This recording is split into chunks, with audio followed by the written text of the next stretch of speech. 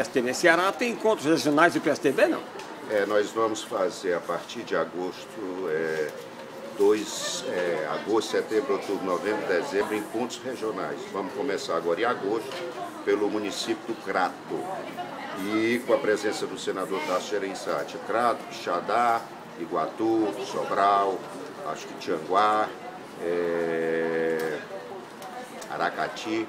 E nós estamos fazendo toda essa programação e já vamos começar o primeiro em agosto, provavelmente dia 28 de agosto. É para aquecer a eleição 2016 ou é só para a reorganização partidária? Não, nós fizemos já essa é, organização, estamos fazendo as filiações e já é uma preparação para as eleições de 2016. Já acredito que nessa primeira região do Crato todo o Cariri vai estar participando e lá já vamos ter vários candidatos a prefeitos que serão apresentados no momento. Aqui em Fortaleza vai ter candidato ou vai entrar na frente da oposição? Não, nós estamos aqui, o doutor Façanha, o doutor Fernando Façanha, ele como presidente do diretório de Fortaleza, já está se reunindo com as lideranças nos bairros e há um desejo do PSDB, é, por tudo que o PSDB fez pelo Estado do Ceará, há um desejo de ter um candidato a prefeito em Fortaleza e estamos elaborando também um projeto para Fortaleza.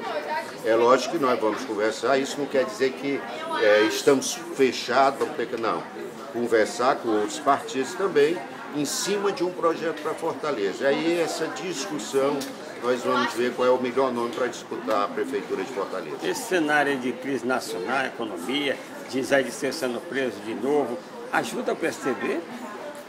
Olha, a questão não é ajuda o PSDB, é muito triste tudo isso. Né? Você vê é, o Partido dos Trabalhadores, o Zé Disseu preso pela segunda vez. Eu estava dizendo ali que o Zé Disseu vai ter direito a pedir uma música ao Fantástico, porque foi preso na ditadura, foi preso no mensalão e preso agora no petrolão. Não tem um gol do Fantástico, aquele que faz três gols?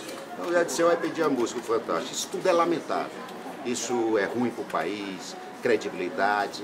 O PSDB tem a responsabilidade, como já governou o país, lideranças, de tentar é, ajudar aquilo no possível para que o povo brasileiro não venha sofrer agora todos os erros cometidos pelo PT. Porque é muito fácil você errar, você institucionalizar a corrupção e agora chegar, aumenta a energia, aumenta a gasolina, é, o desemprego, corta a inflação, aumenta juros, quer dizer, tudo o que eles disseram que não, que não iam fazer, fizeram, e com isso o povo está sofrendo.